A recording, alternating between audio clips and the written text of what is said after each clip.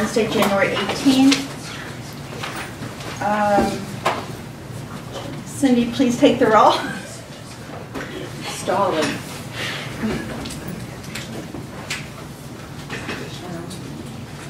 Linda Ryan, Here. Karen Diamond, Here. Barbara Nakanishi. Here. Rob Brett, Here. Tim Spigot, Here. Carolyn Gerber, Patty Rosansky. Her um, previous notice.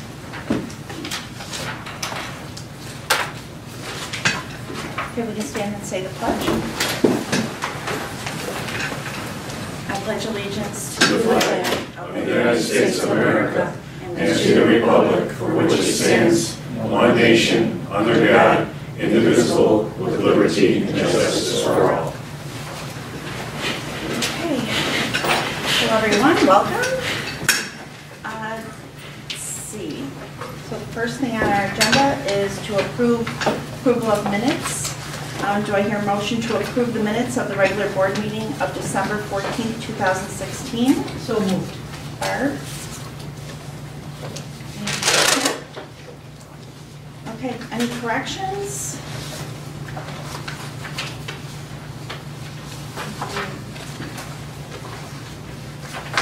No corrections? Okay, Cindy, please take roll.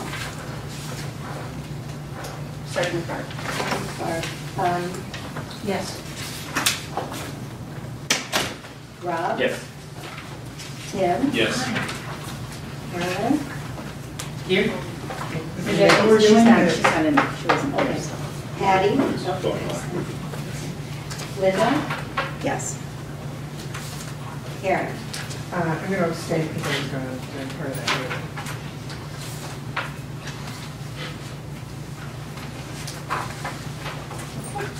Second thing on our agenda is the public comment. And Chris? Good evening, everybody. Chris Hendershak, 6840 West Keene, Niles, Illinois. I want to make some comments relative to the Niles Bugle article of December 22nd, 2016, in which the unsuspecting public was informed the Library Board of Trustees voted to withhold publicly donated book sale proceeds from the non-for-profit organization known as the Friends of the Niles Library. It was, of course, a reprehensible surprise, since neither the trustees nor, nor any of the 60-plus employees informed the Friends of the Library. If that was deliberate, it is, of course, quite insulting, and if it was an omission, it is patently a repugnant lack of administrative communication policies. The Friends Group has for decades been a faithful and reliable support group, providing its funds for events and programs which the Library Board of Trustees refused to budget. The Friends do not deserve such a shabby and slipshod treatment. I joined with other seven, I joined with others seven years ago to revitalize the Friends as it was slowly withering away. The board of directors of the Friends did what was necessary to rebuild an organization which provided special programs for the public and infrastructure support for the library itself. The Friends considered recommendations from the board and its administrators, and at times offered alternative or improved approaches. The Friends funded the Shakespeare performances, books reading contests, programs with our elementary schools, book bags, veterans honors flights for our military heroes, a virtual reality video on the library, the sculpture inside the library, the perpetual knowledge sculpture, metal bookshelves, and other such items. It seems trouble began brewing when the Friends rejected a request for $5,000 to fund a retirement party for a departing employee. We were informed the library staff was to be invited gratis, as well as a bevy of local politicians from the area. Some of the library staff even informed us that a DJ had been previously hired for the dining pleasure of the felicitous celebrants. The Friends said a collective no, and it seems things devolved from that point. Board President Ryan was quoted in the newspaper that she thought the funds being, thought that the funds being improperly withheld could be used to buy presents for staff holiday parties. The Friends are opposed to such silliness, several years ago, an administrator reported that some library staff presumably volunteered for a Sunday Friends event and that perhaps the Friends should sponsor a pizza party in appreciation for and then estimated three volunteers or so. When the administrator was asked how many there would be for such a party, the response was 65. The Friends demand a library transfer of funds which were collected under auspice of the duly constituted nonprofit Friends of the Library. The library trustees should realize they cannot hold such funds which were legally raised under the name of the Friends. And certainly said, trustees should not spend such funds on their personal satisfactions. The Friends await the transfer. Thank you.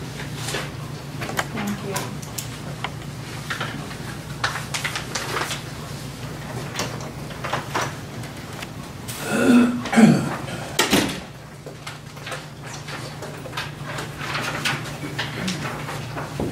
Okay, next item on the agenda is treasurer's report. Greg? Okay, so for the month of December, uh, revenue exceeded budget expectations by $17,000 for the month and exceeded expectations by nearly $260,000 for the year. Uh, The variance in December is due primarily to the recognition of amounts due to the Friends of the Library as revenue during the period. So what we were doing every month is keeping a liability on our balance sheet uh, to accumulate the uh, funds that we had collected in the book sale. And that was previously called accounts payable, uh, uh, Friends, due Friends of the Library. And uh, during the month, we took that credit off of the balance sheet and we put it into revenue and miscellaneous funds, um, which uh, impacted the month by about uh, $23,000. So that's, that's the explanation of that. Salaries for the month are $14,000 over budget or 5.3%. This is due to the fact that December is a five-week pay month. Uh, For the year, uh, we're under budget by almost 63,000 or 3.9%. Library materials for the month were 11,150 over budget or 18.1%. And we're 52,000 over budget or 14.2% for the year, uh, primarily due to the uh, payment of annual subscription fees and some of the uh, library's database product offerings earlier in the calendar. Uh, Library operating expenses are $9,400 under budget, or 29.5% uh, for the month, and 22,000 under budget, or 11.5% year-to-date.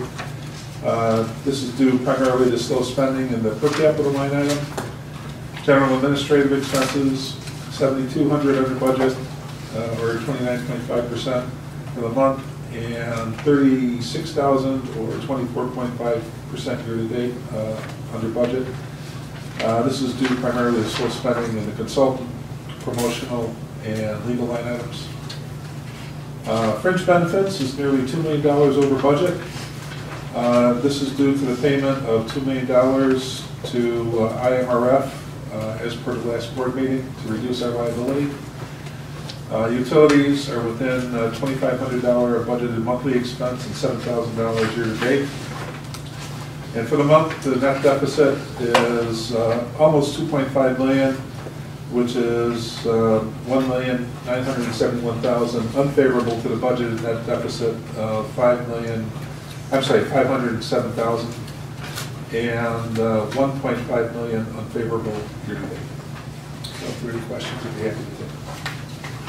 I have a question about the um, 23,000 that was in accounts payable for Friends. Um, Did we determine it's, we legally have a right to that money? Um, Well,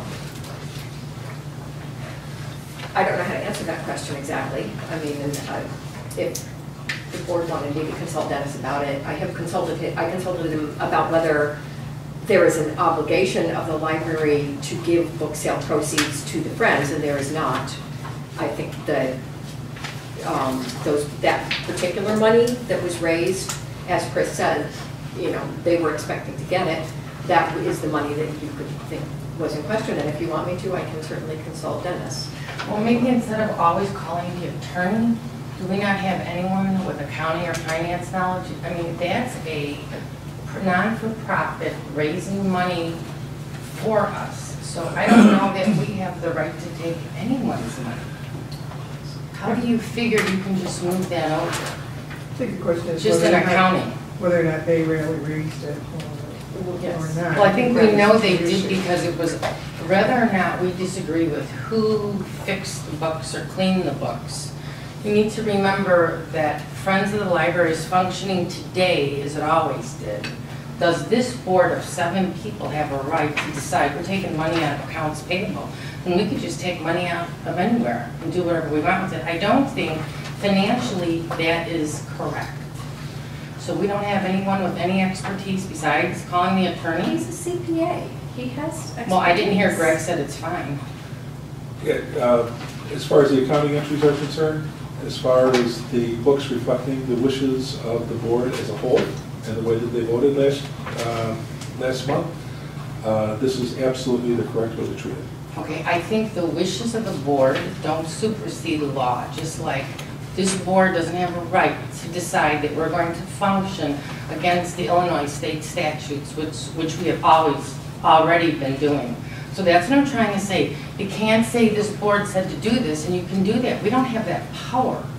There's certain, there's a certain framework we need to follow. But there is no agreement between us and the Friends for them to have that money. It's a longstanding custom, but there is no written or even. Okay, a long-standing custom is an agreement. Well, not, not really. Oh, yes, for the years that they've been doing this, I don't see how you can get out of it. But I think this, this still, I think this requires a little more research than the people around this table said, do it. Should have brought that up last meeting. I voted against it because I said you couldn't do it, and you guys did it anyway. But I bring up The everything when money I is vote. just, the money right now is just held, it's not given.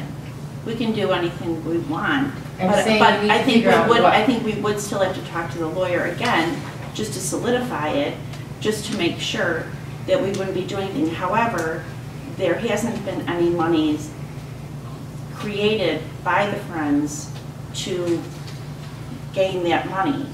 So, I'm missing the point. It's been, okay, all I'm trying to say is the process has been the process for years. right. Now, based on six votes, I think, we decided we're changing that process.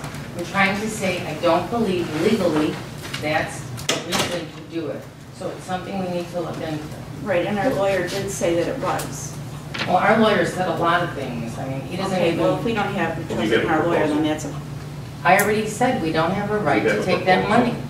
For what? For doing the right thing? I already brought it up last week, What do last you want month. us to do? What's your proposal? I think you don't have a right, as I said in the minutes on your recording, which nobody puts in writing, that we don't have a right to treat them by making, by having a vote today without them present or planning anything. You want to take the money away from friends? Then maybe do it in the, in the future after you've cut off some type of deadline. You don't just take their money and say, well, the six of us decided we can do that. Well, what do you, what do you want us to do going forward? It's not what I want you to do, it's what should you do that's correct. I don't think you have the right to just take the money. I said last month, we should not just sit here and vote without even contacting them.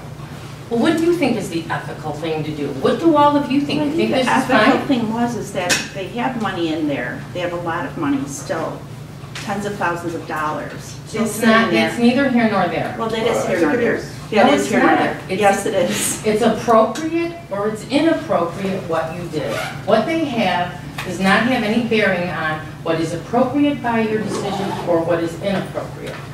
Well, what I understood it to be is that the Friends, none of the Friends, none of the members of the Friends organization have participated in the generation of that income. And it has been a I'm- I'm- long-standing I'm not procedure. Done here. Okay, I didn't know, you stopped talking, go ahead. I'm- I will try to speak faster.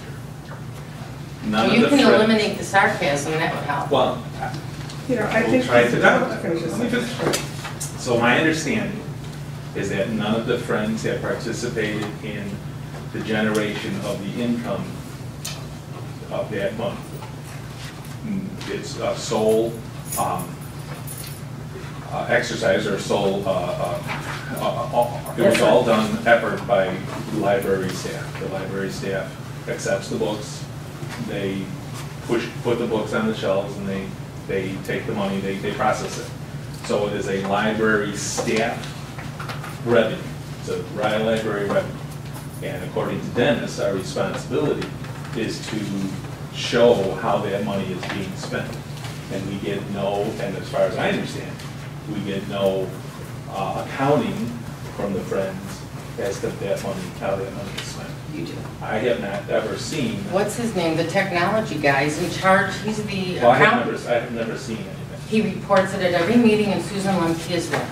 Well, I have never seen. Okay, so maybe she should But bring that but to you. Carolyn, It's Carolyn is the board liaison, so if anyone should be bringing it to the Sure. I, I, I just became the board liaison. What did you do before I offered to take on that position? Never Okay. informed the board? Okay, I, I tell you what, let's, let's focus on what I'm saying. Okay, go ahead. So, the board has a responsibility to uh, oversee the expenditures of the revenues that the library generates. That is, that, that is a, that is a truth. I think it's a little misleading. How so?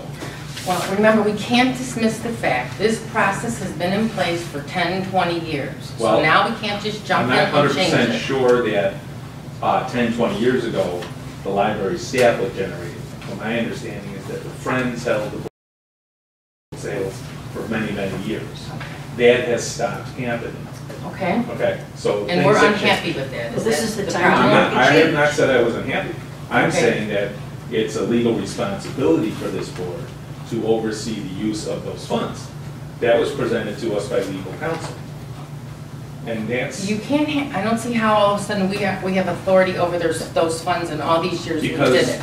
We're just angry at them. I'm not And angry. now, well, I am this not angry decision was whatsoever. totally based on all the negative comments around this table. I'm All right, telling you what my decision was based on. One, one second. Okay. If We're you're talking right hold now. Yes, my decision was Excuse me. based solely on. After Tim, then it's Karen's Sure. turn. My decision was based solely upon the uh, report of our legal counsel.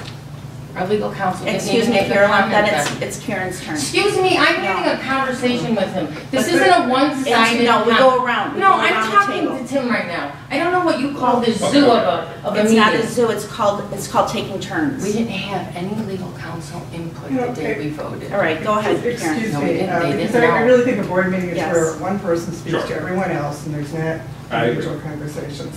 And so I just want to comment that I think that if anything, continuing to give a large chunk of money for a separate, not, to a separate not-for-profit organization that doesn't earn that money for us, that we don't legally owe it to that money, might in fact be illegal. Because what we're doing is giving a donation to a private entity, a not-for-profit, uh, that is not beholden to the taxpayers. And so, as we've heard before, in other instances, uh, uh, has advised us that we do not have the authority to make donations to other private entities.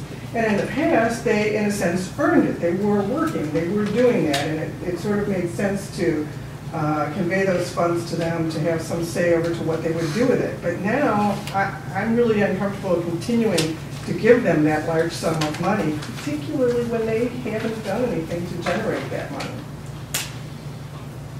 Thank you. So we're upset with the fact that they are not involved in the process. Is that what we're saying? Upset is the wrong word. I'm not. Or you're unhappy, I'm upset, but at the last meeting, they offered, and Susan was there, to participate in the process. We've never engaged in any further conversation, but we turned around and did this. So that's all I'm trying to say is, why didn't you have an open conversation with them? Tell them why you feel the money, they're not entitled to the money, and then move on from there. But to do this in a backhanded way is one more deceptive move on the part of this board. It's, it's exactly how it looks. And then I heard it made the front page of some paper. But I have a question. You mentioned counsel has advised us. Can you tell me when counsel advised us? Because I'm not aware of any legal counsel advice. I was asked to talk to Dennis, and I did, and I And when was back. that? Um, Barb had asked, done it, um, two meetings ago? Two meetings ago. So when did you speak with legal counsel? Because there was no comment at the last meeting that we had legal counsel, but you did mention that you would call him. I did, I did, I mentioned at the last meeting that I had talked to Dennis, and that that was his response. Look back under unfinished business. Pardon me? look under unfinished business. And it'll Last- state what? That's, that's where you'll find what we talked about last meeting about this issue. Oh, I thought she said she was going to call Dennis. I didn't hear she talked to him and then told us what he said. Um, She consulted library attorney Dennis Walsh, who said book sale funds were still public funds and must be budgeted before being spent, although they have fewer restrictions on how they are spent since they are not taxpayer funds. So he said that, would- he You have said, it, it's here. so he explained what the funds are, but did he say we could take them away from them? But we have a responsibility. To do what? Are we saying they weren't responsible with all they did with that money? I'm saying, I have, as a board member, I have never seen any accounting of what they've done with their money. That's what I'm saying. You are not aware of that huge sculpture that they bought? I bought? have not seen a document that says, yes, this is how this money is spent. So Well, then- I, as far as I understand, I have a responsibility as a board member to oversee the expenditure of revenues generated by the library. And I believe we all do in this, this, this board, you included. Well, as a board member, I heard conversations, meeting after meeting, as far as what they've done with their money. Then maybe you And should what they- reporting. Yeah, We've been reporting it at every meeting, every time we have a Right, friends meeting, we talk about what they're doing with their money However, Carolyn- and what they've done, so if Okay, that is But you're not addressing it, what my comment. I, as a board member. have Want not something seen in any- writing? I, I, as, as a board member, have not seen any accounting for how that money is being used. And I, as a board member, have a responsibility to oversee that. Well, then that's the fault of the person responsible for the accounting of the money at Friends. The accountant or whatever he's called, who is our technology person, has never provided any written communication to this board in the past. But again, if that's what you would like, you should have requested it instead of just pull this money out. I just think you handled it improperly. Okay, do you have a proposal going forward. No, I'd like you to tell me, I'm not unhappy with them. What would you like to do to be, to feel that they earned your respect or that they've earned whatever it is you're looking for? I've never said respect. Well, you, you, you add words that I've never said. No, we're not I'm upset, we're upset. not angry with them, we I'm just not makes angry Taking sense, it just makes sense to, to take over that money. It makes sense, it's not because we're upset or angry, it just Okay. makes sense. Based on what the attorney said and, and the long Based on the generation of the funds. too. Yes, So if somebody comes forward and explains to me how better that money can be utilized in a responsible manner as a, as a, as a board member, that we can oversee that. Possibly, that we can re, readdress the issue. So you But don't, this is library revenue. So Library Linda's- revenue has to be overseen by library board members. I, I don't think so, but that's a Well, good I do comment. think so. But you think Linda's suggestion to use it on parties That's is a a better? different issue, is- Well, you're talking about how they it was a utilize the tiny money. Portion. Carolyn? Okay, Carolyn, your comments are duly noted. Yes. Um, let's move on. Okay, uh, director's report. Susan? Okay. What was next? That's sidetracked. Okay, well, first of all, uh, the card that you have there, Carolyn, and for all of you, um, Diane Winberg um, has given me permission to tell people that she took a fall a couple of nights ago, broke her wrist quite badly, um, had surgery today, and so I bought a card for you guys to sign so that I could send that to her, because I know she works very hard on your behalf, and she would like to know that you were thinking of her. Thank you. You're welcome. Jam with that, yeah.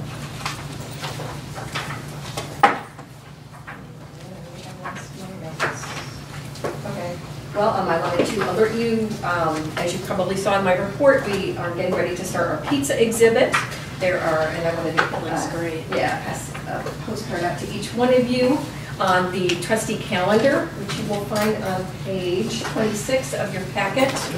Um, I have been expanding the trustee calendar quite a bit as, at your request, so that there's more and more information there that kind of helps you flesh out the year. And you'll see that on February 3rd, which is a Friday, there is a pizza exhibit kickoff. So you are all invited to that, and that should be a lot of fun. Um, Sasha and his team have done a fantastic job pulling this together, and this is actually a free exhibit. You know, We're having some programs that are paid, but the exhibit itself is completely free for the library, so that is very exciting. Will there be actual pizza? At the clerk's office end, yes. But, At the kickoff event, yes, Okay. um, donated by our friends from Home Run Inn. okay. They truly are our friends. All right. And, I cannot find my notes. I I just wanted also to highlight the fact that uh, the library legislative breakfast is coming up. That is the chance to meet with um, legislators um, and kind of get- let them know what's going on in the library, and what the needs of the library community is. Um, That is on February 20th. And normally I would say contact Diane, but I think this time I will say if you would like to attend that, please let me know. I will get you signed up. Um, Oh, it's President's Day? It's President's Day, yes. I'll I'll probably get that. Oh, On President's Day. Yep. And what time is it? Uh, like something, eight fifteen, it's quite early at the Buffalo Grove Arbor- Arboretum. Um, and then there, um, I just want to repeat that the ALA annual conference is here in Chicago, so if you could get that, those dates on your calendar, uh, in case that you, you will be able to attend that, because it's really a huge event, there are lots of sessions, there are huge exhibits. I think exhibits. it said it's in New Orleans or. Um, There, let's see, the next one will be next year, 2018 is in New Orleans. Oh, This summer's 2018. I was conference. looking at, Yeah, okay. coming up in June Ah, is in Chicago. Okay, perfect. Okay. Um, And then the other thing is that um, uh, I was just reviewing our strategic planning proposal from KBA, and I just wanted to make sure that we were on track with the- them um, fulfilling the commitments that we have in our contract, and they have delivered the things they said they would up to this point. So the two things left that they will be delivering to us are the two-page high-level strategic plan that they talked about, um, and they uh, thought that that would take about a week. And then, um, and then finally, they will be assisting the staff in the development of a detailed work plan. So those are the two things left to do. I think, um, from my perspective, those are the two hard things left to do, particularly the actual coming up with a specific plan. I think the retreat um, was very productive, and people, um, we got a lot of great ideas on the table, but the next stage is to look at all those little post-it notes and kind of go, okay, are we going to do this one, or are we going to do this one? Because we cannot do every single one of those things. So the actual hard work is still to come, but we will be keeping you informed and at every turn, and you will get a couple of points where you get to um, vote on it. Excuse me, will we get a copy of this strategic plan that they're Oh, putting together? Do you know, you said in about a week? Well, the two-page high-level strategic plan, um, I don't know exactly what that's going to look at, look like, but yes, I- anything that I get, you will be getting. Yeah, I have not kept anything from the board. Well, what I'm saying is, when can we expect to get a copy of what our strategic plan is before the library begins, you know, initiating it? That's all Um, I'm saying. I don't know exactly, because it will depend, for one thing, on how many bullet points there are and how complicated the process is. It's the hard work of the, are we doing this or are we doing that? So um, certainly I would like to get things solidified, solidified in terms, so that we can plan the budget according to what we pick. Are we still choosing, or I thought that was done?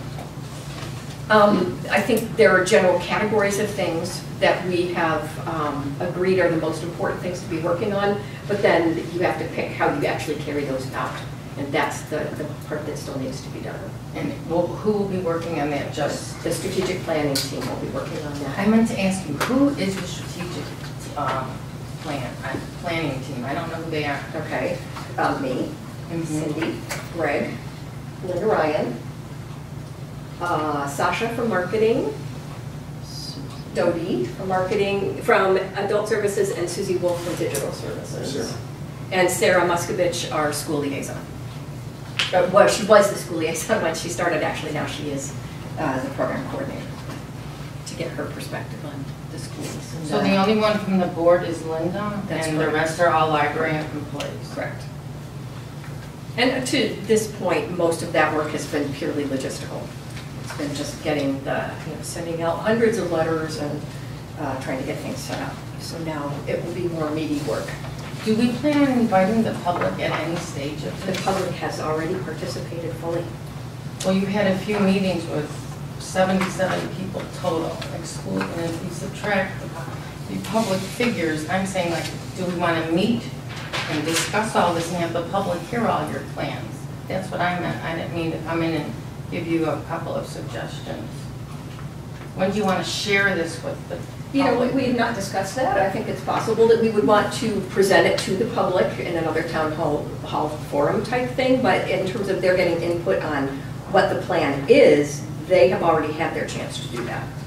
And the 340 surveys that were completed is a phenomenally high number. Oh, my heavens, no, The 60,000 village, the village got 200 responses after months and months of banging I on the know, door. but that, for all the Not only plans we that, it have. hit all the demographics, it hit all the different types of categories that we wanted to, which was really lucky. And we had some that were very well attended. We had So two actually- people attend Dee Park, one of the most sought-out areas.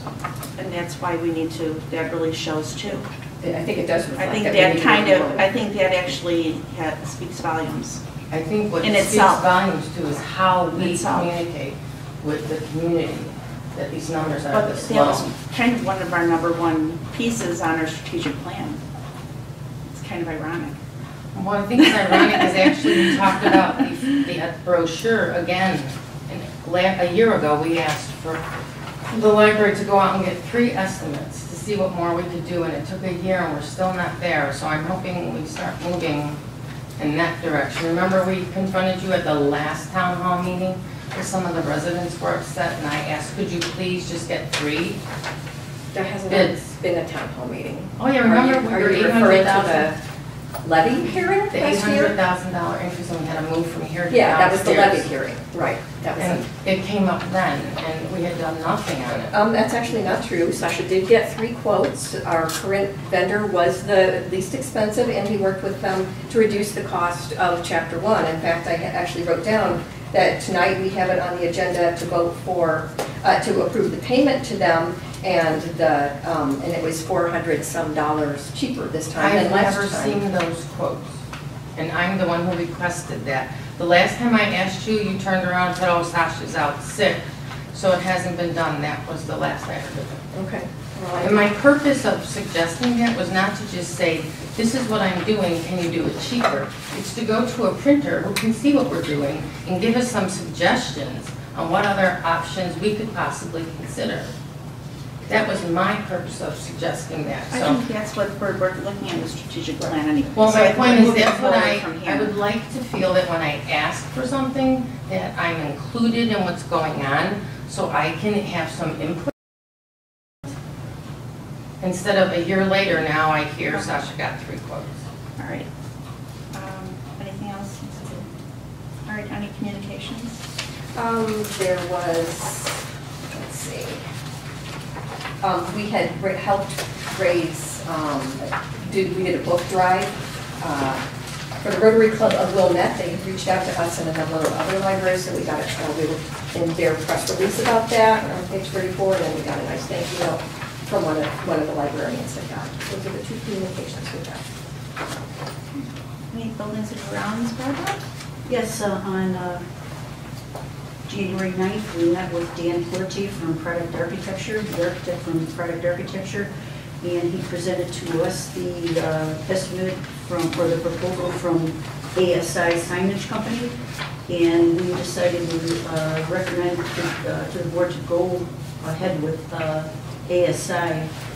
Uh, And um, during the discussion, uh, we were looking at their uh, proposed signage, and we noticed on the exterior of the building, it said Niles Public Library District. And half of the trustees, uh, Karen, Diana, and I didn't hear for the word district at the end of, uh, of that text on the building, Niles Public Library District. And um, uh, Susan and Linda uh, like that word. So long story short, um, uh, we decided to discuss it at the strategic planning meeting, which was Wednesday, and at that meeting, we decided to change the name of the library. Um, What is it? Or at least Niles? discuss it. We're right? discussing, Yeah. so, uh, so um, I think we, we, uh, the, the the most popular suggestion was Niles Maine Area Library, representing the two townships, Niles Township and Maine Township. So that came out of that uh, meeting as an aside, and um, also at the Building and Grounds Committee meeting, we talked about the uh, uh, work on the children's uh, restroom downstairs, and we're gonna go ahead with that renovation. Um, As far as the restrooms up here, uh, the two, uh, that project is gonna be deferred for a little, a little while, only because we're gonna need uh, design documents uh, to have that work done, and so we'll put that off for a little while. Yeah, you had asked me at that meeting to consult with, uh, I think it was Karen, who wanted us to double check that that didn't have to be bid um, with the lawyer, and actually I did find out last week that it does It does, to yeah. yes. So, um, because if if we're going to do an RFP, I think that we will probably end up doing an RFP for both bathroom projects at the same time, because doing two separate ones seems silly, so I think that, that is gonna be held up a little bit, unfortunately. It's too bad. Barbara, can I just ask one question about the name of the library? Do we not facilitate people in Glenview as well? Um, I, Unincorporated Glenview. Yes. So are they included in the Niles Maine title? Oh, well, I mean, it's, it, the Niles Maine refers to Niles Township, and being township, not any, not any town, any city. But what I'm saying, so is Glen, is unincorporated Glenview? Because the purpose of mm-hmm. that long title, Niles Public Library District, is that we are not a Niles library, we're a district area, and all these little other neighborhoods feed into us. So will we be including all those other neighborhoods? Well, there's a map right behind us, So that was my only concern about what your new title will include. I can't see the township lines on that map. I mean, do we need to, like, do we need to check with the village that we're including I don't know what everyone? township lines are on there. I mean, I don't know, is there another township nearby, or I thought, I, I it thought it pretty was much was Niles and Maine around here. I thought it was, you is know, just this Niles was and just double Yeah, so checking that, it there. does cover. Yeah. Glenview. So then Maine Township covers Glenview. Uh, Maine Township is unincorporated. east of Harrow. Here, I can ask my, my nieces in Glenview too, I can ask her, make sure. Or I could we, mean, we're definitely not part of any other township, so we, uh, Yeah, I anybody think in it's Maine, unincorporated I Glenview is. West of Harlem and Glenview also Northfield Township Northfield Township? and May Township. what about unincorporated Des Plaines, aren't they That's part right. of here? That's Main. Maine. Okay, Yeah, that's good. Maine for Okay, sure. that was my only question. So you think maybe it's part of Northfield Township? Glenview is, has of May Township and Northfield. Right, the south end, I think, is in Yes, but it- So we it- talked about Oh, this, here, the our here, district you part can would see the township line, see where it says The Golf, southern. the town of Golf, Okay. and right, right above that, you can see Glenview Yeah. Niles. Library is, is on the other. We talked about, well, the name of the library will probably be Niles Maine Area Library. Perhaps on the website or some other places, in small print, we would say including unincorporated areas out here and there. You know, but we wouldn't have it. It wouldn't be all over the, Right, right, right, yeah. So, um, right, and I was actually looking, after I was thinking about the Niles Public Library District, um, another one, I mean, I know we, I don't think we said the Niles Maine Public Library. Because we're getting rid of the public library piece. Which, what what about just Niles Maine Library, Niles Maine library?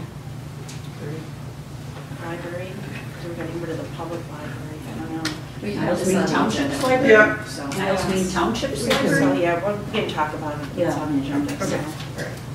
Um, But at least we'll get away from At least we can the talk about it. misconception of some people That that it's only Village Niles, of Niles. right, and that we are only Village of Niles, Right. because I think that's where the whole piece of, that we're, Uh-huh. you know, they feel like they're not included, because they might not even know that they're included if they don't have a tax bill. So, okay, all right, um, thank you, Barb. And technology? Okay, uh, liaison reports, Friends of the Library, I think we've already The talked meeting about was that. canceled. Okay, legislative and RAILS. Okay, uh, secretary's report? I don't have anything. Okay. All right, then new business. Um, I will have a motion, is there a motion to approve the changes to personnel policy 4.17, electronic communication use? So moved. Motion, Karen? Second? I second. Tim? Uh, Susan, tell us about the changes, please. See this one? Oh, did I? Okay. Oh, by, oh, Visiographic, sorry. Oh, There's no amount on there. Can we do the, It's can on we the do B motion first? sheet, yeah, Oh, it is? sorry about Okay, that. Okay. Sorry. Page 36, that's I was looking, I was going ahead.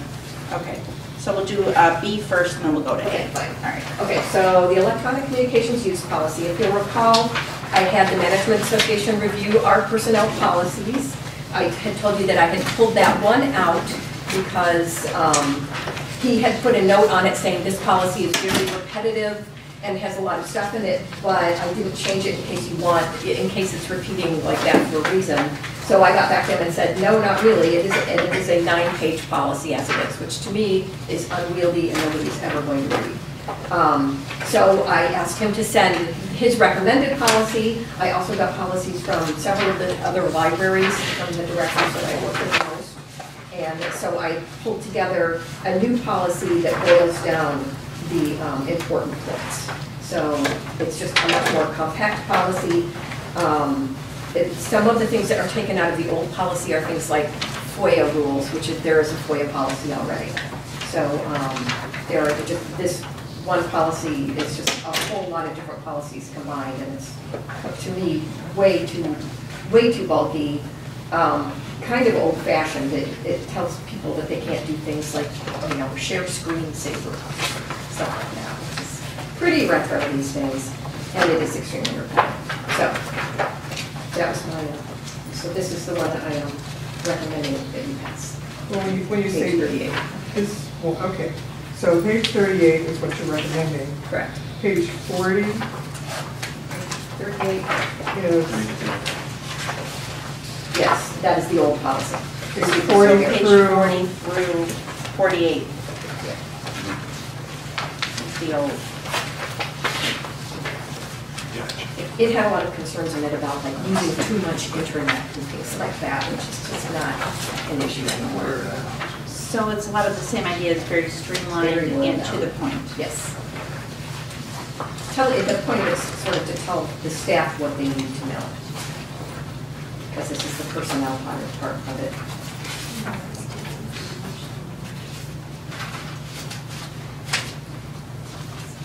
so the one that you came up with, you used a sample from the management. uh, I, I used, it's based on the Management Association's one, and then I, um, yes. Yeah, and then I got policies from Prospect Heights and Northbrook and several other ones, Indian Trails.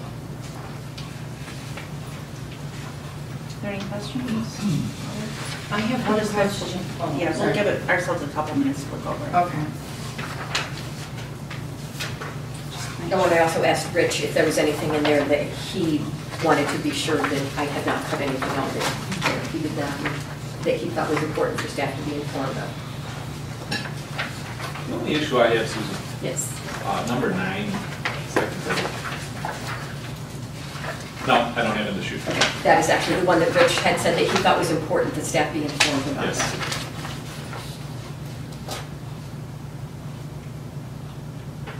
I- The the first sentence is just a little wonky. Library district may use software to identify.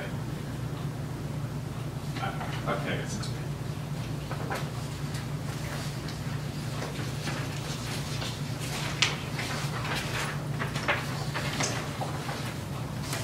So, um, don't we have, I thought we had a policy with respect to just computers and for use by the public, that we use software, but that if patrons want to go to a site that has been blocked by the software, perhaps inappropriately, Yeah, there's a way to get around that. yes, that's in the But- administrative But it, it doesn't say anything about that with Well, to you know, I think, employees. I think what the, his reasoning is that there is, the whole building is filtered, but he turns it off on the staff side because it's pointless because the staff all has the password to turn it off anyway. So, it- so that's why it's worded in that kind of mushy way. It may use software, you know, there may be times when it gets turned back on, so. The main point is staff are not allowed to be looking at those things, whether the filter blocks them or not. Yes. And that they can't rely on the filtered form.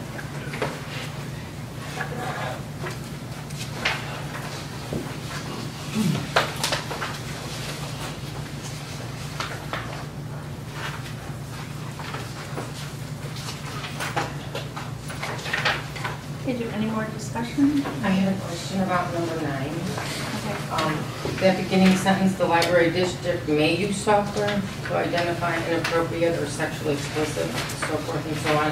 I thought we had put into effect a policy that we were blocking all sexually explicit um, sites. That was what Karen just asked. Yeah, it is, there is library-wide a filter. It is on on the patron computers. They have to ask staff to have them unblocked, but that's an administrative policy. This is the one addressed to the staff. On the staff side, they need to be aware that the filter may be on or may not be on, but in any case, they can't be looking at sexually inappropriate material and things like that on their, on their work computers. So, well, the word, I have a problem with the word may, like sometimes we put it on, sometimes we won't. Aren't we, didn't we decide it would always be on? Not on the staff side. Okay, so that's the difference, okay. Any other questions?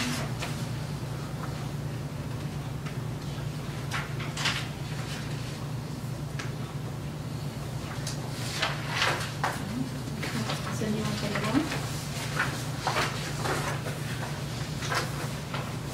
Marilyn? Karen? Yes. Barbara? Yes. Rob? Yes. Tim? Yes. Carolyn? Yes. Linda? Yes. Okay, now we will do A. um, um, Here a motion to approve payment of Visiographic for the printing of the winter issue of the Chapter One in the amount of five thousand eight hundred ninety-one dollars and ninety-six cents. So moved. Second. Barb and Karen, any discussion? Okay, Cindy, please take a roll. Barbara? Yes. Rob? Yes. Tim? Yes. Carolyn? Uh, I'm gonna have to vote no. Um, I just feel that after a year, we did very little to really review that and, uh, absolutely no uh, reflection upon Sasha. I think he's incredible, but I think administratively, we could have done a bit more. And it is still quite high, so I'm gonna have to vote no. Yes. Okay, the next item is to adopt Resolution 17-1, a resolution of the Board of Library Trustees of the Nasco Library District, Cook County, Illinois, approving a policy for the selection of materials and the use of library materials and facilities. What is your motion? So moved. Barb? And a second? Tim? Okay, please tell us about the resolution of policies attached to it, Susan. Okay. Um, I saw on the, I get a legal document every year from Klein Thorpe and Jenkins saying deadlines for things, and it included that we need to be passing a resolution every two years that confirms that you have looked at these policies, that you have reviewed them. So you need to look at the policies tonight. Um, Karen had suggested that perhaps some of you might be curious to know a little bit more about how we do decide what things that we buy. And so I brought a few things to show you, um, because you know, the collection is a very important part of the library. I take that part of the job very seriously, and it's kind of my area of expertise. So the way that um, the library staff decides what to buy is that they get review journals, and there are many review journals. Uh, Booklist is one of the preeminent ones. Um, There's Library Journal, there's Publishers Weekly, which literally comes out weekly with reviews. There is Kirkus, there is Romantic Times, there's Video Librarian, so there are sort of niche things that they can look at to pick things. Then there are some kids ones as well. There's Bulletin of the Center for Children's Books and the journal that I review for, the Horn Book. Um, There's School Library Journal. So these are all places where the librarians, and you can see like on some of these that they have like a routing slip that uh, shows that they go through the different departments and people check off when they have had a chance to look at them. And so that's one of the ways that they decide what to buy is they read the reviews and they try to buy the things that get great reviews. But that's not the only way that they make choices because people don't always want to only read great things. Some people, will like Romantic Times, I think some of those are probably not great literature, but it is part of what people like to read. So another thing that they do is they look at data that is uh, produced through CCS, through our computer program, and they can see, you know, the categories of things that are the most, that ha- that are going up the most. There are many, many lists available to the librarians on the CCS website that reflect what people are actually checking out and also reflect what people are not checking out. Sometimes you buy something and it just sits there and, um, and so then they try to push things a little bit. So um, they also look at bestseller lists. They notice if somebody is making the talk show rounds. And so that if you know there's going to be a bump in interest because Oprah's been on every channel promoting her Weight Watchers book, then you know that you would need to get some extra copies of that. So all of those things factor in. I know that um, one of the children's librarians gave me this, the Scholastic catalog that um, one of the, that the head of youth services brings in because, you know, in kid world, the equivalent of Oprah going on the talk show route is the book fairs coming to your school. And so they might come in asking for these particular things. So they know that they want to buy some extra ones of these things. So those are some of the things that they factor in when they're trying to decide what to buy. And of course, you're always trying to balance your collection so that you're not, you know, buying all romance and no crime, or vice versa. And so that, you know, the librarians are very attuned to what the people are looking for. And then they also just want to make sure that the information books that they have are going to cover all the topics that people conceivably might come in and ask for. And they also make sure that the information is up to date. So some of the collections turn over much more quickly. A medical book, say, um, is, or a science book is going to get replaced much more quickly than a World War II history book. A World War II history book is going to last a lot longer because it doesn't go out of date. So those are some of the things that go into collection development, both on the ordering side and then later on on the withdrawing side. Can you talk about how you decide uh, hard copy books versus digital, you know, how is that weighed in terms Yeah. of buying, uh, let's say there's one popular book that comes out. Yeah. How do you decide how many hard copy, copies you're gonna buy and how many digital? Uh, Based on demand, because people can place holds on things, so that's another thing that they're looking at all the time, is how many holds are waiting for a particular thing. And so there are holds both electronically and in print. Um, There, I can't think of very many possibilities of things where we would only buy electronic. We almost always buy print, and then we sometimes buy electronic. And we're also part of a purchasing consortium on the electronic resources. So some of what we get is actually a pool of books that's shared by the libraries, two different consortia. Does that make sense? Um, During our uh, strategic plan Yeah, meeting, they recommended calling certain collections. they did. So when you decide to do that sort of thing, do you have like a report that shows how often the material was taken out? Yes. Yeah, how recently it was taken out and how often it has gone out over its period of time. I don't entirely agree with their philosophy of weeding collections, and the picture book collection is a good example of that. She was talking a lot about a turnover rate, and the turnover rate is how many times a particular item has gone out, um, or, or a collection has gone out. But to me, I don't want to weed a collection down to be a smaller collection so the turnover rate goes up, goes up. That doesn't make sense to me. I'd rather have the bigger collection and have the turnover rate be lower. I'd rather have more choices for the patrons. So that's my philosophy, and hers is a little different, and, you know, it all comes down to philosophy and shelf space and, and patron demand again. Sure. So- So anyway, that, the resolution is your, you know, uh, every couple of years you have to say that you looked at it. And, um, and there also, it refers kind of in passing to library facilities, so I included the library rules policy as well from the um, So, administration part. all right, so the, the one regarding the collection is really three point oh six, but before that, in our, in our packet, we have three point oh two and three point oh five. Correct. Yeah, the the 3.05 is again to do with the collection and the circulation of it. Um, 3.02, because it talks about the use of the facilities, library rules has a lot to do with the use of the facilities. And again, there, there's no proposed changes to any No. of these, but just, they're just here for our biannual review. so you can say that you reviewed them. Okay. Can I uh, make a uh, comment on Certainly. order rule? Yes. Uh, Number seven on page 52. um, uh, No portion of library premises shall be used as a place of and of conduct of private profit activities. I did think we had changed that. I thought we did too. We must have changed it in one place and missed it in another place, so I will bring this back to you next month for a change. Not a problem. Good catch. Thank you. Uh, Rule seven on page fifty. The The strategic plan we talked about, Yeah. creating spaces where. Yeah, encourage it, yeah. There's A little bit of a conflict there. Yeah.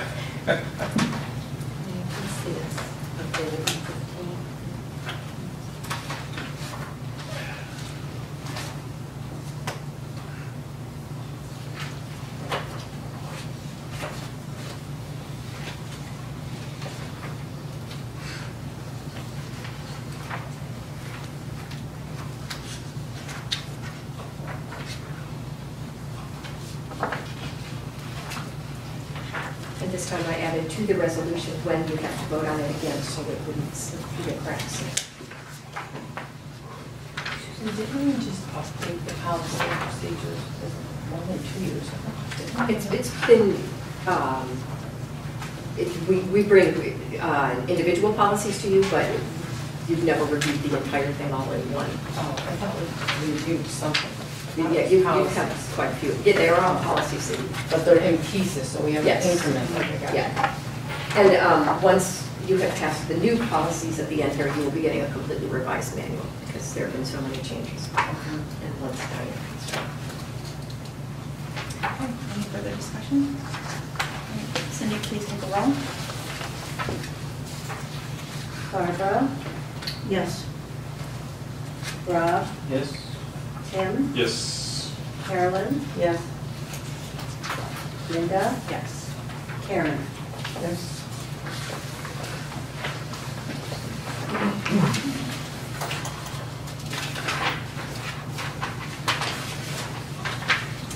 Okay, when I hear a motion to approve the following new personnel policies. 4.25, use of cellular phones in the library district phones. 4.26, employee classifications. 4.27, equal employment opportunity statement. 4.28, reasonable accommodations. 4.29, overtime slash timekeeping. 4.30, pay deductions. 4.31, no solicitation slash no disruption, distribution.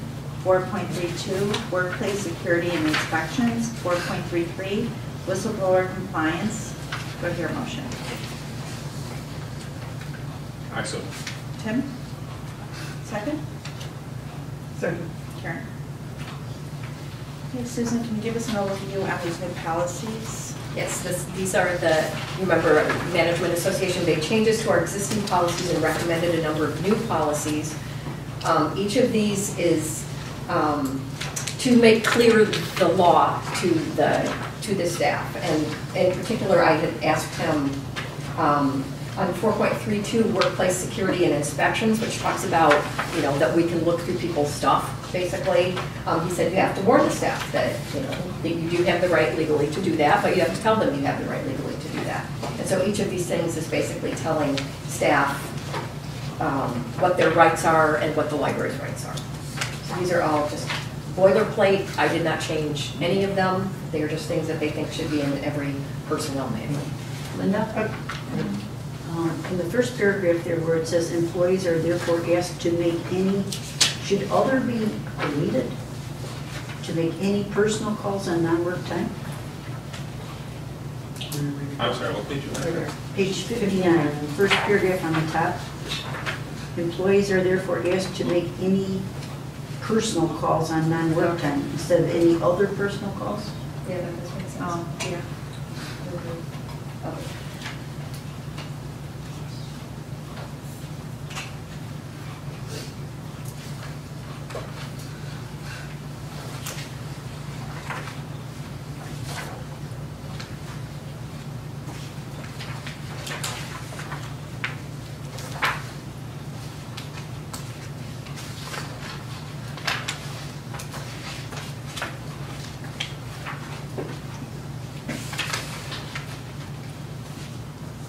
So I had brought up uh, to Susan earlier in an email, um, on page 65, the 4.31 paragraph. Uh, employees may not distribute literature, printed materials, okay, sell merchandise. As we just discussed, employees are selling the used books. Um, And, you know, we do other things, so I, I'm wondering if there should be a, a caveat, uh, library approved uh, practices or library initiated materials or, or some sort of wording to accommodate um, situations where the library itself is uh, asking employees to uh, sell merchandise or do some other activities. It, it seems to be prohibited.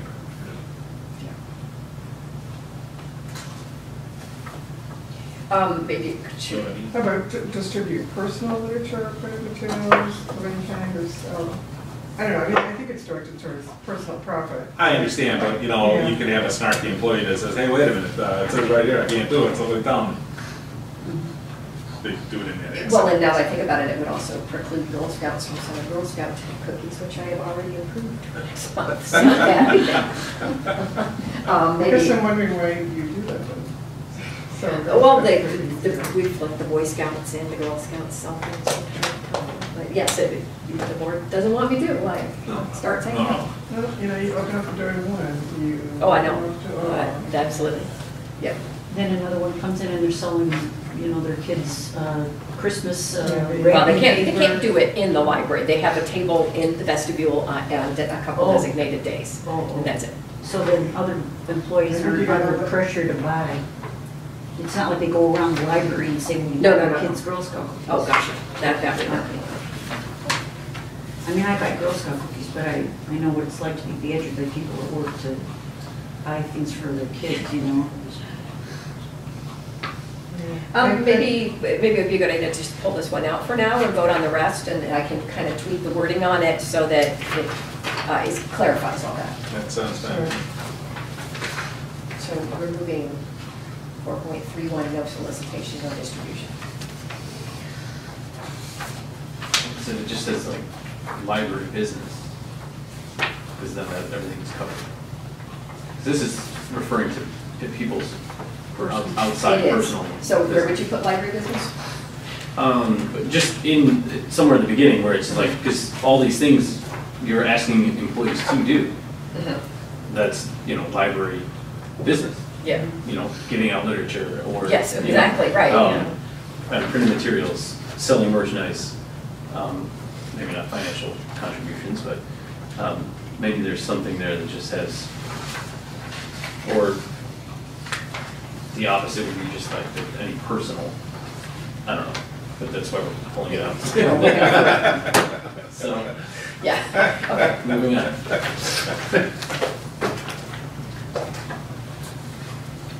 Do you have to amend the proposal or something? So four point three one coming out.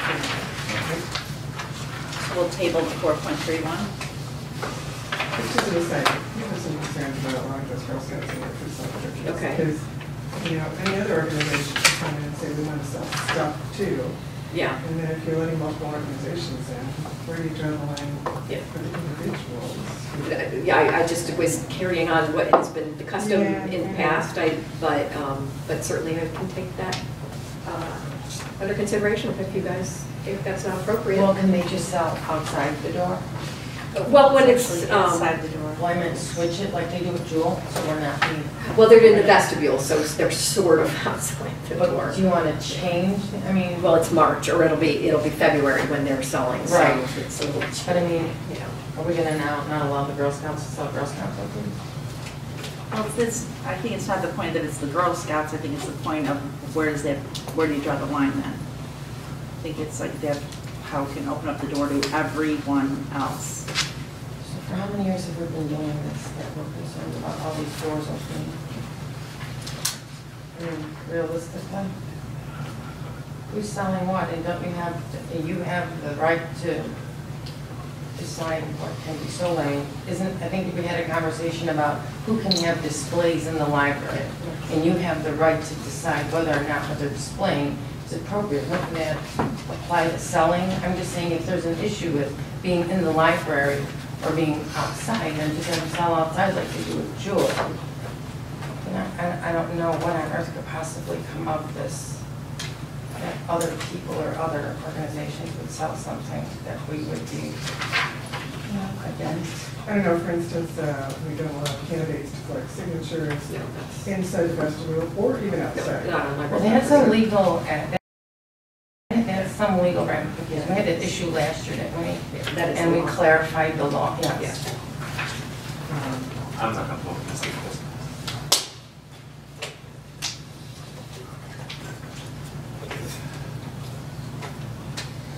We've already been called a representative. I can't imagine what it goes on.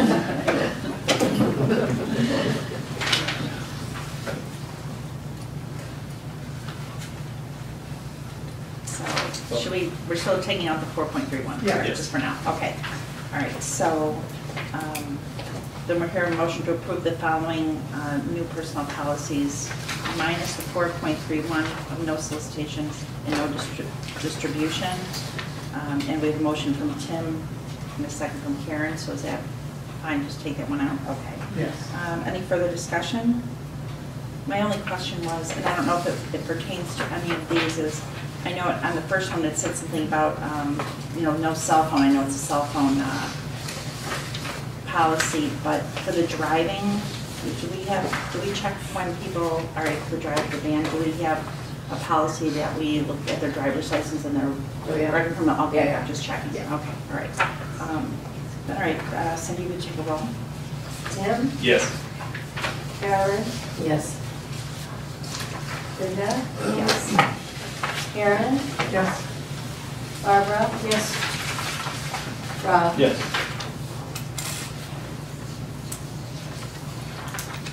Okay, so I need a motion to approve the 2009-2010 tax rate objection settlements recommended by Klein, Thorpe, and Jenkins. Motion?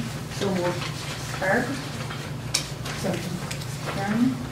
Okay, Brad, can you tell us about this? Uh, Certainly. Um, it- In uh, November of uh, 2013, there was a uh, tax rate objection uh, filed for the years 2007 through 2010. Um, uh, This, this was turned over to um, Klein Thorpe and Jenkins to represent our, uh, our interests. Uh, The way that the suit was uh, structured is that virtually every taxing body in Cook County, I believe, um, and it might be, it might be even broader than that, but I have, I have the original here uh, with the list, and we passed it out at the time. Um, But you can see it's like all the various uh, school districts and high school districts. um, It's primarily aimed at them. Uh, Various uh, towns, you know, Berwyn, Barrington, Cicero, um, Harper Community College, uh, Wheeling, River Forest, etc. These are, you know, it's like um, 10 pages of uh, single space, uh, single space type of um, every district that's included in this uh, tax rate objection suit. And so we've, we've already settled two years, uh, 2007 and 2008. And uh, this should be the, uh, the end of it for 2009 and 2010. I want to make a point that this is not part of the PTAB things that we see. Okay? And uh, just to be clear, when we see a PTAB like for Coca-Cola or for Best Buy, what those entities are doing is challenging the assessed valuation of their particular piece of property. The idea is if they lower the assessed valuation, they, and the tax rate stays the same, the taxes go down. Just like, you know, just like if you were to file a protest on the value of your home. What this addresses is the tax rate of all of these different taxing authorities. So it's different, that they're not, they're not, uh, they're not assessing, I'm sorry, they're not challenging any property values, they're, they're actually focusing on the rate. okay? And they do it, it's like a class action suit. I don't know if that's the appropriate term. Yeah, it sort of is, there aren't really uh, technically class actions and tax cases, but it's it's pretty, pretty similar to that. And and actually, there's like three different types of actions that taxpayers can file. One is going to the Property Tax Appeal Board, which is an agency, and getting tax relief that way based on claiming, they're claiming that their assessment should have been lower, the value of the property is lower. Uh, Taxpayer can also go to specific, to a circuit court and file a specific, what they call specific objection, which is basically the same thing. Taxpayer saying, my property was overvalued in the assessment property process, and they, or they can go to circuit court with a tax rate objection, which is what we have right here. And these tax rate objections are filed every year. There's just a few attorneys that do it, and they will file on behalf of huge numbers of taxpayers and file against a huge number of taxing bodies. So there are these enormous suits that are brought virtually every year, uh, challenging the rates that are levied by many different taxing bodies over a geographic area. And so that's, that's what we're looking at here. Can I just ask one question? So these are individuals, not uh, like public institutions Oh, no, challenging their well, rate? Um, they're individual taxpayers, but when I say individual taxpayers, I mean, they can be corporate, ta- Okay, corporate, so they corporate could owners. be So they, they yes, could, they could be a talking lot a of lot of money, okay. taxpayers, and probably Sure. most of them are So, commercial entities. Okay, okay, I was just uh, wondering. Spend the money on this. So for example, one of the suits is from uh, 1400 Wolf Road Limited Liability Corporation et al. Okay, and, and, and there's, you know, there's uh, uh, several more, you know, through, uh, throughout this, all listing the same number of. Okay. Yeah, I just want to know that's, wow, it's huge. So, what, if we agree to this, then there'll be a total of eleven thousand dollars. So is it like split up amongst all those people? Well, I think the eleven thousand dollars Is our portion of it. Right, I No, plus- that's what I'm saying. uh, plus Our our portion of portion. 11,000. So, all those people would get just a little bit of that money, right? Well, yeah, we don't know how many uh, plaintiffs are on it. I think the Right. list you were showing us were all the taxing bodies. Oh, Right, oh, oh. right, right. So how many plaintiffs, do we know who the plaintiffs are in this? Well, that's 1400. Oh, 1400. It's uh, 1400 Wolf Road. Oh, Uh, oh, oh, oh, They're oh, not I'm the sorry. only ones who have filed I such understand. things, but such suits, but. Oh, So can I just throw a crazy question out there? So we're lowering their rate for this period of time. So they can come back and want to lower their rate for the current years too? Sure. So it's just endless? Yep. Yeah, Okay. yeah, but, but, you know, I think, uh, I think you have to agree that the, uh, the real money uh, is not going to be recovered from library districts or mosquito abatement districts. It's going to be uh, recovered from high school districts and grammar school districts, Sure. uh, you know, that are in this list. so, I- and I don't want to beat this to death, but just so I understand, so, so we have set a, a taxing rate, our levy, right? That's what our taxing rate is. And this lawsuit said w- they don't like the rate, they want it to be lower. And we're agreeing that it should be lower. Well, we're settling it. Wow. I don't know, you can sue right Yeah, For instance, um, we levy, levy, part of our rate is loss and cost. We, we levy a certain percentage, like two, three percent. 3%. Three percent, saying, we know that three percent of the taxpayers are not gonna pay their, their tax bills. Essentially, that's sort of what I'm saying. Or we'll end up, Or we'll end up losing money because some taxpayers fight it through specific Right. objections or PTAB cases. And one of their arguments is, is, well, no, you're not, you're not really gonna lose three percent. We think you're only gonna lose two percent. And so, do we really wanna fight out if we're gonna lose two percent, if we're gonna lose three percent? Would we properly levy three percent? Should we have levied two percent? So oftentimes, it's just, makes more sense to settle these rather than to litigate that understand, type right. of rate. I mean, and that's just one example. I mean, they, Sure, they will sure. challenge all different types of rates for all different types of reasons.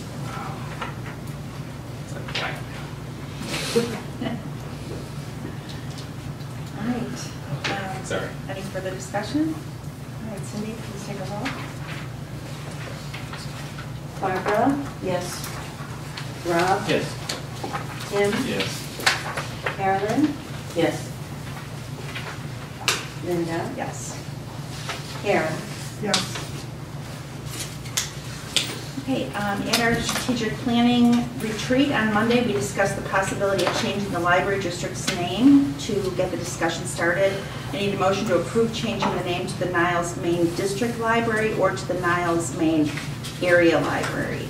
It was, I know that you had said that it was um, area, but it was split nine to nine. Oh, okay. Just, just. Uh, The motion can be amended after discussion to whichever choice has the most support. Will someone make a motion? So moved. Okay, Barb? And, um, second?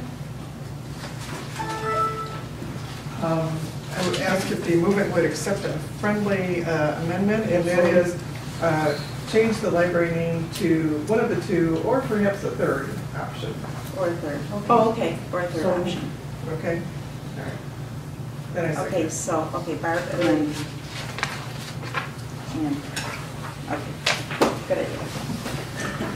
All right, so Susan, tell us again about the um, minutes, why the staff's recommending you change the library's name. Okay. Um, I just wanted to put this here so you could see the work that Sasha's team did on just kind of showing what the logo would look like uh, with the names that we've been looking at. So just for the sake of the minutes, let me just uh, reiterate that um, we feel that there is a significant portion of people in the um, north end of the district who do not know that they are part of our district. They, because their name is Des or their name is Glenview, and they do not believe that they are part of the Niles Public Library District. And we also know from comments people made that people that live in Niles also don't think that those people are part of our district. So um, we need to reiterate that in some way to convey that more strongly. So we thought that a couple of these possibilities might make it more clear to people that they are part of our district, that they pay taxes to us the same as the people of the village of Niles. So a couple of the possibilities that we were talking about would be, this is how it looks in our, what we are currently, the Niles Public Library District. We talked about using the two township names, Niles Township and Maine Township together, and making it the Niles Maine District Library, thinking that if we put district before library, then when we're labeling, labeling the library building, it's still labeling it a building, not a, a library, not a district. So the two choices that we were talking about is Niles Maine District Library and Niles Maine Area Library. Um, One suggestion that was made was the Niles District Library, but we decided that we don't really want to discuss that one because that is the name of the Niles Library in Michigan. So it would cause a lot of confusion to have two Niles District libraries. So these are some of the possibilities, um, and that's what it would look like. Susan, um, just, I don't think so, but there are no libraries to the east of us that are just referred to as the main library. There's no, there- No no main anywhere else, so it would, um, I think it would really signal to the people in the Maine township that, oh, they really are part of our district. Because I think the fact that their name is Des Plaines, really, they really, really still think they're Des Plaines, even though they're not. Des Plaines is a municipal library, and so is Glenview, and so is Park Ridge, and so is Morton Grove, and so is Skokie. So we're the only district library around, and we take in all these uh, uh, other areas. But they just still don't understand that. I'm just thinking out loud, is there any reason we wouldn't want to go with Niles Maine Township Library? Well, we aren't part of the township, so we don't want to tell them that we're, because the township is another unit of government. So it's just picking up sort of the geographic area, but not, we don't want Niles Town, or Maine Township to start thinking they have a role in the library either. Gotcha. But we just want the people to know they're part of it. Um, I uh, I just want to point out, uh, somebody raised a question whether or not part of the, our district was in uh, Northfield. And the small portion is in Northfield. Oh, it is. Like how much? Um, See this little triangle right here? Is that, At Anything north of Central I thought Avenue? I saw that on the voter, voters. Is- are there, what, are there That's- that's- homes there? It looks like. That's Northfield. I couldn't tell, well, you know, I I- think there When I are a look- few, when I look here on, um, online, it- it seems to have more detail in terms of streets, you know, like, you know, like in this area right here. Yeah. There are some other, are people out Yeah. there. Um, So that might, you know, that might lead you, I mean, for brevity, you may not want to say Niles Maine Northfield, but you may, you know, you may capture it by saying the Niles Maine Area Library. Um, Area seems, you know, seems like it could be a little more vague in terms of, How does Northfield connect with Maine now? Not at all? right, I right mean, no, but if I live in Northfield, do I feel like part of Maine? I could tell you, I don't know the Northfield. So who knows the answer? So is Northfield a separate entity and they're not identified through the Niles Maine description? This is Northfield Township. So we're excluding. Right, if. Yeah, yeah, this, just, the- just this little spot right here. What would, No, part of Northfield. It's almost like So we obviously service Niles, Maine, and Northfield Townships. That's what we're saying. Right, yeah. But we weren't- But, uh, you know, so, so this is, I I believe this is Harlem Avenue right here. Okay, all of this uh, to the, uh, uh, to the west is Maine, and back to Harlem, and then all of this is Niles uh, Township. And then you got this, this uh, small piece of land up here, and I don't know if those are apartments or single-family homes uh, that are Northfield Township.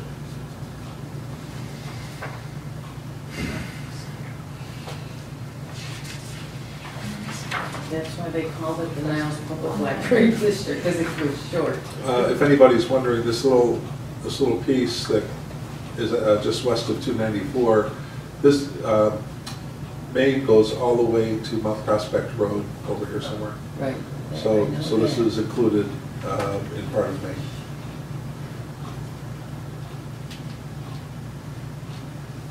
Well, I'm okay with it. It's kind of saying that it's a large area. How does Northfield connect with Maine area? Well, It's in our district.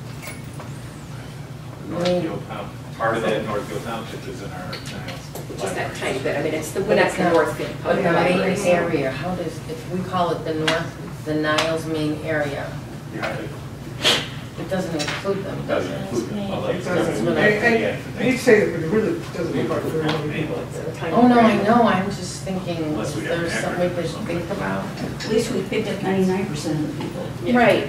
I mean, I guess that's the way you can look at it. I mean, otherwise we already have the name at least north.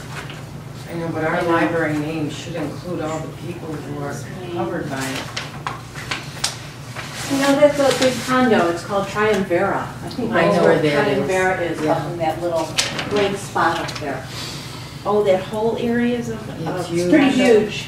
Yeah. I mean, there's some commercial stuff here, uh, but then if you go a little bit further down Milwaukee, well, and you can access Triumvira through here too. So I think it's all Triumvira condos. The bottom right of that, right hand of the triangle, I guess is where those buildings have been under construction and kind of laying dormant for a mm-hmm. couple of years, and now they, they Now they're up, redoing it started again. up again, Yeah, yeah. yeah.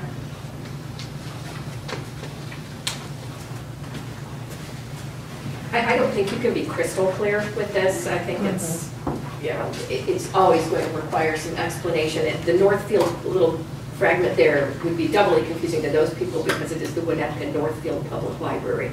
So mm-hmm. They probably feel like they could be in a bunch of different areas, but, you know, I, I personally would still just stick with Mass Maine District or Mass Maine It would area. be way too long to call it Maine, Niles, Maine, or. No, that's. Well, right. unless we did like Next. just letters, and, and, and, or something African or something. Yeah, that would And I really know kind of, Mm, Pardon me? May not, or- they know.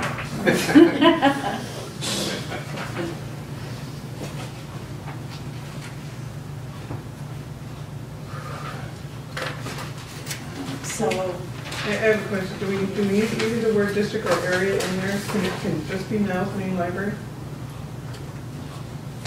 You totally eliminate that. The only issue I have with that is it makes it sound like there's a secondary library in Niles. That maybe the main isn't, isn't, uh, relation to the township, it's, there's a minor library somewhere. What? I don't understand what you just said. If we call it the Niles Maine Library, Oh, yeah. somebody who Oh, doesn't know refers to the oh, township, might be thinking there's a oh, minor library. This is the main This is the main library. library. There are ancillary libraries somewhere. even though it has an E, it won't matter, it's the word. It's, well, here, Right. I think you the word. And you don't, you don't think that it happened with the word district in there? People would think it was a Niles minor district library? I- I'm just throwing it out. Okay. I Maybe still I'm- do, uh, just to Very repeat my point that I made at the strategic planning thing, I do think district signifies something when you look at it on your tax bill. If you're looking at your tax bill and you're trying to figure out why are these people charging me money, then you're right there next to the school district, the park district, the library district. It, it, I think it's clearer in So that Susan, I way. gather that you would prefer Niles Maine District Library. Is that true? That, that is my top choice, but I would really be happy with either of those choices. But I can see your point. And the one thing, why I like district is we're not losing all of our name, we're just kind of adding to it. We're still the Niles Public Library District, and we're, so we're not really losing, But we're clarifying that we're not the Village Niles. right. Mhm. And we're, so we're taking away the public part, which I'm not in love with. But I liked it, where if we're gonna take away the public part, that it's adds in May. I think that really, I, I mean, I heard so many people at that, you know, when we had the um, meetings, that the same message was that it was Niles, Niles, Niles is paying, paying, paying. Well, and then when we heard that it was 50/50, that was really a big eye-opener for it, and I've been on the board for a while. Sure. And that was really kind of an aha moment for me. Um, So to address this, I think it would be really a- a positive move forward for the library. Well, I'm to okay with Niles Maine District Library. Go ahead, Karen. Um, Well, well, uh, this really goes off on some of a different topic, but I just want to talk about um, what expense would be incurred as a result of changing uh, the library's name. Let's assume we go with Niles Maine District Library. Now, it's a good thing we did not order any signs yet, so, I mean, it- Yes. And that's kind of how it came and up, we right? were, we were thinking about it, but we Right. never really signed it, we didn't get any final, you know, quotes or anything from signs, so, so we haven't done that. Uh, What about other expenses that might be incurred? Um, I don't know, stationery, um, stuff like You know, that? most of our stationery is printed as you use it. We have um, letterhead, so all of, all of the graphics would have to be changed, but we do have an in-house graphic artist, so that is part of her job. And as you can see, she's already tweaked things. Um, There, there's no question that it would be a big nuisance. I, I'm sure there probably are things that I'm not thinking of that would end up getting thrown out, but um, as I said, the library card, we would not require people to get a new library card right away. We would just Mhm. gradually replace them as their cards expired. Um, My understanding, you would have to pass an ordinance. This would not be official tonight. We would have to, I'd have to bring you an ordinance, and um, we would certainly want a lawyer to look at that, so there would be the legal cost of that. But um, other than that, I, I think it's more nuisance value and just trying to catch all the places that would have to be changed, which would be a lot. And But we haven't had But to then you have, could the- do that gradually, though. Sure. you? I'm sorry. we haven't had to have, the we haven't had to have the attorney here for a long time now. Yeah, no, I feel that's And way as. I was noticing, and even in the policies that we're reading today, a lot of the word district is, is kind of threaded through. So, um, those, that wouldn't have to be changed if we did use district, because it's a lot of the library district, Yes. you know? Um, However, if we did go with area, then I think all those districts would have to be taken out. So I think actually having area would be more of a nuisance, and just reading what we have and keeping the district would keep a lot of the policies, um, the verbiage Yeah. the same. I think we would not have to change our um, website or anything like that. We'd have to change the graphics on the website, obviously, but I don't think we would have to change our domain or anything like that, which would would be a big nuisance and then confusing. Legal agreements, we have legal agreements with that, I assume other businesses or entities. Banks, We would have to change. there there are those places that we would things. have to change things around There's with the state. cost to that. And I understand the state is very, very slow on changing things. that- Can uh, can I just ask a question? Do you have a timeline in place for when you wanted to make this change? I want to do it sooner rather than later, just because we're waiting on this exterior signage, and we've gotten it up to a certain point, and now it's completely stalled. But in Right. terms of what's in the library now that's been printed and you distribute for whatever purpose, pencils and all your giveaways, that's the Niles Public Library? There's Just not a lot of up. stuff like that, right? I was just looking in the cabinet that has So you'll promotional items. just, my and there's point not a is, lot. you're gonna, you're not Yeah. throwing them out, you'll No. just No, we'll use them just and move yeah. on? Yeah. You know, it still could be an AKA, you know, for a while. Yeah. I mean, it's gonna be, Okay. Well, it's a transition time, just like when you get married, you know, you don't just all of a sudden, that, that next day, you're, you know, a new name. You're- There's a And then in terms transition time. Oh, I'm sorry. And then in terms of it being an ordinance, so do we need to keep, now, I know you're gonna have the attorney here, but isn't there some legality that we need to look into in terms of Do we have, do we need permission to do this? I mean, it's our name, right? Yeah, yeah, you guys are the governance for this, so it's up to you. Can we have a vote? Yeah. So, all right, um, we'll go with the, just in order on the Niles Public Library District, keep it the same. Just, you do it just hands up. Can we do that or no? We could, we could, I mean, I don't know, it sounds like, I, I may be wrong, but I sort of heard, heard, Do maybe you want to just put being a a- piece of paper? afraid, uh, in favor of district. You want to just take a vote? to Just see kind if the on the majority Niles Maine of people district? Vote for Niles Maine district library, or if you don't, or if you don't want to do that. Plus Yeah, I have a obsessive problem. I like the, the visual of the Niles name, and it fits the two words better. It- I I know that's Oh, you mean down on the area? the, the, Oh. the physical nature of it. And see, and I am completely the opposite. I like the staggered. Oh, you like the staggered. I like this stuff. I think it looks very professional and it looks very, I'm completely opposite. I don't know what he's talking about. Tell me what he's talking Oh, about. here. The, not, that it kind The of. visual nature of Niles. The- the It's block. more of a block. See, this like one block. letter Right. over makes me crazy. Uh, Well, I was going to suggest that we, we, uh. This uh, looks very, see, that looks Center, so. center. No, know. see, I look exactly the same thing. I like I like the standard stuff look. Uh, One thing, one thing that I want to mention is, um, I mean, there really good- hasn't been any talks on like rebranding the place or anything like that, but this is the look that we've had for like three or four years now, and, you know, since we've existed, we've had different logos. So, I don't know if I if I can even suggest, but I mean, you know, this is what it would look like right now. If we do a rebrand in the future, it could stagger a different way, or, you know, You'll lose your square. Well, you know I kind of, I kind of agree with it, Tim, now that you mentioned it.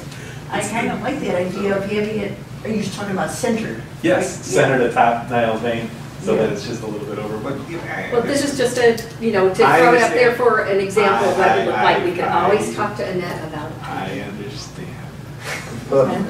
That's, Yes, So, ma'am. Go I ahead. just- I just one other question. Is there some reason, do we need a hyphen between Niles and Maine? I was thinking about that, but I kind of think you do, because otherwise it's not one thing, Right. it's two different things. I think it That grammatically you have to have it. Should we say Niles and, like a, what do you call it, an Ampersand ampersand? to the ampersand. Niles and Maine District Library, or just Niles Maine? No, because that might single out, Township like again. Glenview gets lost for Well, you know what, sure. if we had a bigger space between Niles and Maine, it would be kind of centered the way Tim wants it. Yeah, there you go. Space, space. That's the graphic artist.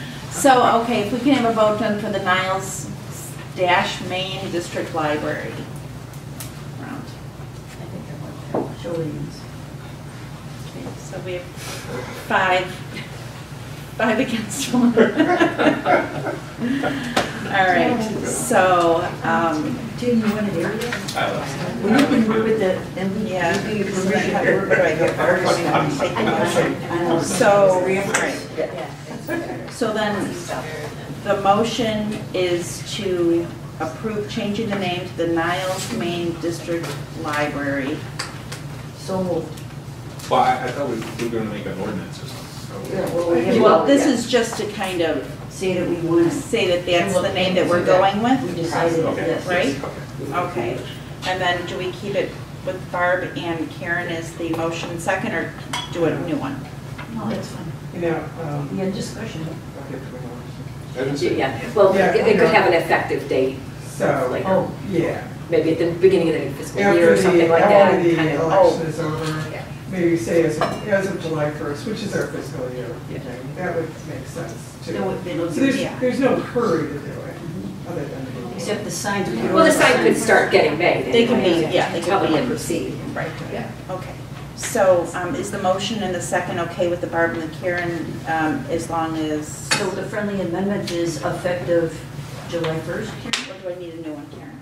Well, I don't even know if we need to No? put in a specific date, you know? I Yeah. think all all we're really That would be doing in the now is ordinance. instructing our attorney to drop an ordinance for us, right? Is that that's all we're Yeah, doing okay, right yeah. now? Right. It didn't sound like that's what was happening when you remarked. Oh, okay, S- oh, Yeah. because you're saying that I- we're changing the name. Okay, Yes. so right now, okay. So, all right, so the motion right now is to instruct our attorney to Okay. drop an ordinance for the name change uh, to Niles Dash Maine District Library, subject to possibly be instated in July, July the 1st. Probably effective. Effective July 1st, 2017. Okay, um, and do I need a motion on this? Or just, that's it? We're done? Okay, thank you. And then in our literature, whatever we do to emphasize our new name, did you say we're going to include some little verbiage so Northfield knows they're part of us, right? There's some, on some of the um, headers you On, sent. on the van, it already Okay. says, in- uh, including unincorporated Des Plaines and unincorporated Okay, collections. on So that is website. the Brookfield. Really? Okay, good, good, that's great, okay. Okay, and there's no unfinished business. Um, We have an executive session on the agenda to discussion of personnel for deliberations concerning salary schedules for one or more classes of employees under ILCS 2C2 of an Open Meetings Act. Do I hear a motion to go into executive session? Any third? Second? And Karen. Okay, Cindy, please take a roll.